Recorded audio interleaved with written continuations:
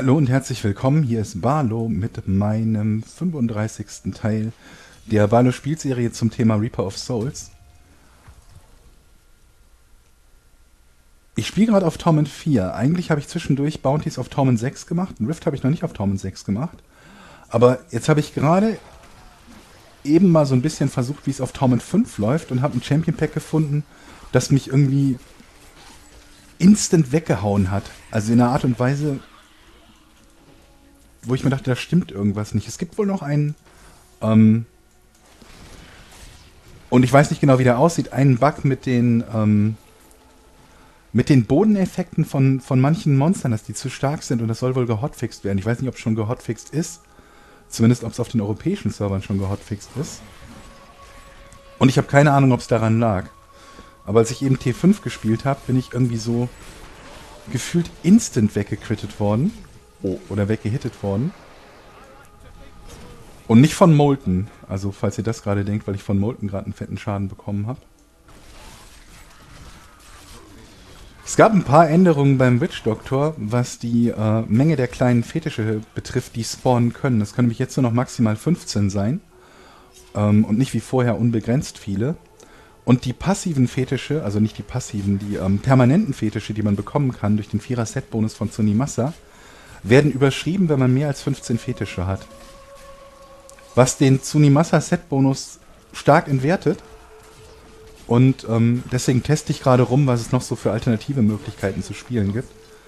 Gerade auch mal in dem Fall nicht mit dem Star Metal Kukri, mit dem ich normalerweise spiele, äh, sondern mit einer anderen Waffe, die aus den Kröten zielsuchende Kröten macht. Habt ihr schon mal, also falls ihr alle Videos aus der Serie gesehen habt, die habe ich vorher schon mal zwischendurch benutzt. Aber jetzt kommt es mir wieder so vor. Naja, mal gucken. Ich mache jetzt erstmal das Schiff zu Ende, bevor ich sage, wie es mir vorkommt. Also eigentlich fand ich vor dem Patch T4 eigentlich ein bisschen zu leicht. Für mich jetzt, also für meinen Equipmentstand. Ähm Allerdings, als ich jetzt T5 eben gespielt habe und es mich dann irgendwie viermal in Folge zerrissen hat, beim selben Champion Pack, kam mir das vor wie früher Inferno. Und ich habe wieder eins runtergestellt und jetzt kommt es mir wieder viel zu leicht vor. Keine Ahnung. Aber mit diesen Änderungen jetzt beim, beim Hexer überlege ich tatsächlich ernsthaft, ob ich nicht den ähm, Vierer-Bonus mitnehmen soll vom Blackthorn-Set. Das ist jetzt durchaus interessant geworden, dadurch, dass Tsunimasa nicht mehr so interessant ist. Ich glaube, ich werde da noch ein bisschen rumprobieren in den nächsten Tagen. Mir vielleicht auch mal abends eine Gruppe suchen, mit der ich ein bisschen T5 mache oder zumindest mal T5 versuche und gucke, wie gut es funktioniert. Also ich meine, wir spielen ja so oder so Softcore, das heißt irgendwie werden wir auch durch T5 kommen.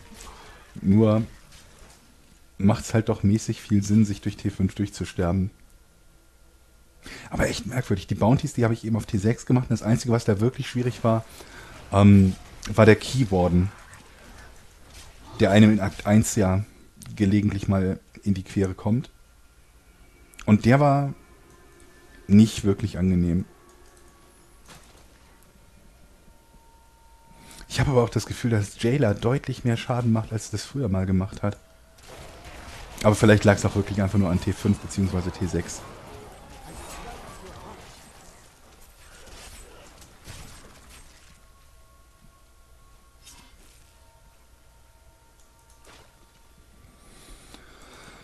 Ihr könnt mir ja schon schreiben, ob ihr, ob ihr positive Erfahrungen mit äh, Cardala gemacht habt und ähm, der Änderung, dass jetzt auch Torment exklusive Legendaries äh, wieder, muss man ja sagen, droppen kann. Ist droppen das richtige Wort? Verkaufen kann, verlost. Also wer von euch hat das lang ersehnte Item jetzt nach Monaten dann endlich von Cardala bekommen?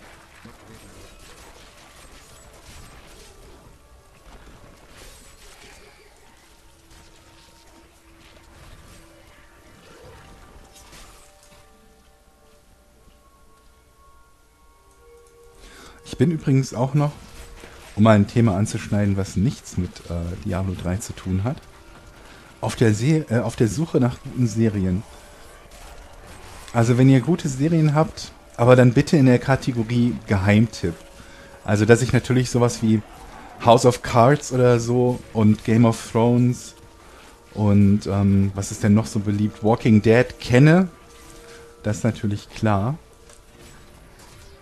Also wenn, dann bräuchte ich mal sowas wie einen Geheimtipp. Und keine Comedy-Serie. Oder wohl, man könnte auch eine Comedy-Serie nennen. Ich kenne im Moment nämlich auch nicht viele gute Comedy-Serien, die laufen würden, außer, naja, Big Bang Theory. Glaube ich, das Einzige, was aktuell noch läuft, was ich als Comedy-Serie bezeichnen würde, die ich gerne sehe. Ich habe echt viele Serien versucht und, mir mal irgendwie ein, zwei Folgen angeschaut und mir jedes Mal gedacht, na, nee, das willst du nicht wirklich. Zu den Serien, die ich versucht habe und die ich nicht wirklich wollte, zählen halt unter anderem Game of Thrones und Walking Dead. Aber auch Homeland, von dem so viele schwärmen. Wo ich noch nicht genau weiß, was daran gut sein soll. Also ich habe es angefangen zu gucken und dachte mir, hm, das ist ja ziemlich voll von Klischees. Ist es jetzt deshalb voll von Klischees, weil irgendwann der Plot-Twist kommt und man feststellt, ah, es ist ja eigentlich ganz anders gedacht? Oder ist es wirklich so? Dann, was gab es denn noch an Serien, die ich in letzter Zeit mal geguckt habe? Und von denen ich mäßig begeistert war. Ich habe jetzt neulich noch eine Serie angefangen zu schauen. Was heißt angefangen zu schauen? Angefangen und wieder aufgehört zu schauen. Die hieß Revolution. Oder heißt Revolution. Und da geht es um Amerika nach, also auch so ein Endzeit-Szenario, und Amerika nach so einem großen Blackout. Also alles hat keinen Strom mehr. Und irgendwie kam es mir vor wie Walking Dead ohne Zombies. In den ersten, ich glaube, drei Folgen habe ich gesehen.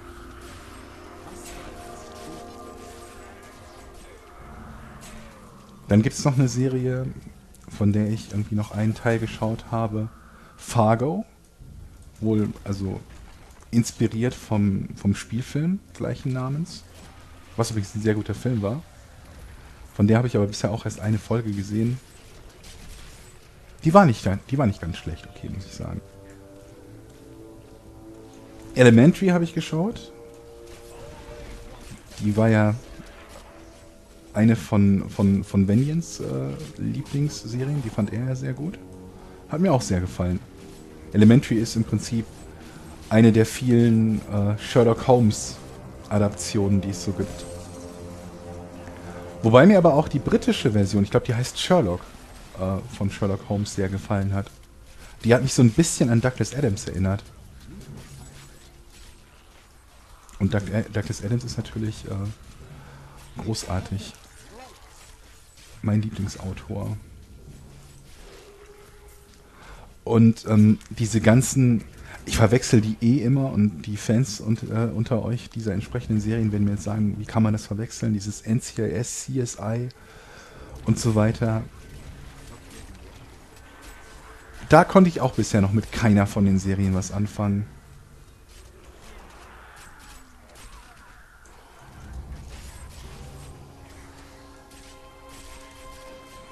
Tipps sind willkommen.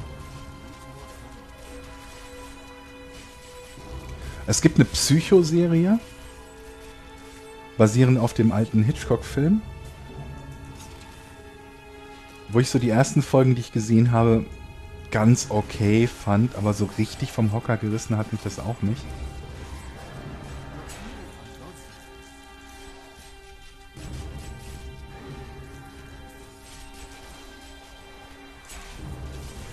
Gibt es denn noch? Was habe ich denn noch alles geschaut? Also wohlgemerkt jetzt alles mal im, im Rahmen oder im Bereich Nicht-Comedy. Okay, klar, sowas wie Dexter, Breaking Bad. Ich weiß gar nicht, gibt es noch neue 24-Staffeln? Wobei, ich weiß auch nicht, kann ich mir 24 wirklich noch antun? Ich habe, glaube ich, die ersten fünf Staffeln von 24 gesehen. Aber ich glaube, irgendwann ist es dann auch mal gut mit diesem Prinzip. Ich glaube, die erste Staffel, da habe ich die Folgen zum Teil wirklich so Stück am Stück verschlungen. Aber ich weiß gar nicht, ob es da überhaupt noch neue Folgen gibt.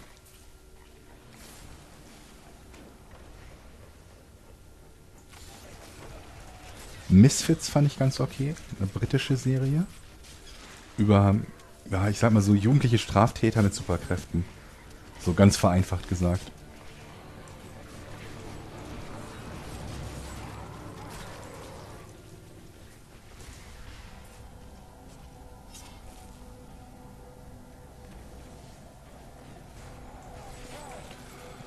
Und ich glaube, es gibt noch, ich habe so viele Serien mal irgendwie. Ich bin schon irgendwie auch so ein Serienjunkie. Zumal ich oft, wenn ich, wenn ich zocke, auch nebenbei Serien schaue. Es gibt, glaube ich, so viele, so viele Serien, die ich mal geschaut habe und deren Titel mir heute nicht mal mehr einfallen. Was aber meistens dafür spricht, dass sie mir einfach nicht nachhaltig positiv in Erinnerung geblieben sind.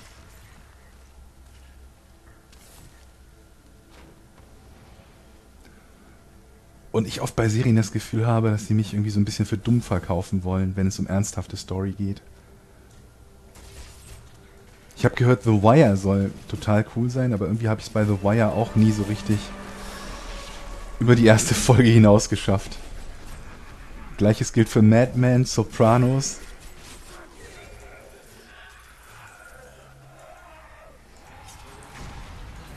Also, pünktlich zum Wochenende oder vorm Wochenende. Serientipps. Ihr seid gefragt. Ich brauche eure Hilfe. Eine gute Serie oder gute Filme. Von mir ist auch gute Filme. Und in der nächsten Folge kümmern wir uns dann wieder den Diablo-Fragen, die ihr habt. Stellt sie in den Kommentaren. Wenn euch dieses Video gefallen hat, dann freue ich mich tierisch über einen Daumen nach oben. Das motiviert mich immer, weitere Videos zu machen. Wenn ihr möchtet und es noch nicht getan habt, freue ich mich auch, wenn ihr unseren Channel abonniert. Und ansonsten wünsche ich euch ein schönes Wochenende. Vielleicht habe ich euch ja gerade auch die eine oder andere Serie genannt, die ihr mal ausprobieren könnt. Wobei ich über die meisten ja gesagt habe, dass sie mir nicht gefallen haben. Von daher, wer weiß. Ich wünsche euch was. In diesem Sinne sagt euer Onkel Barlo.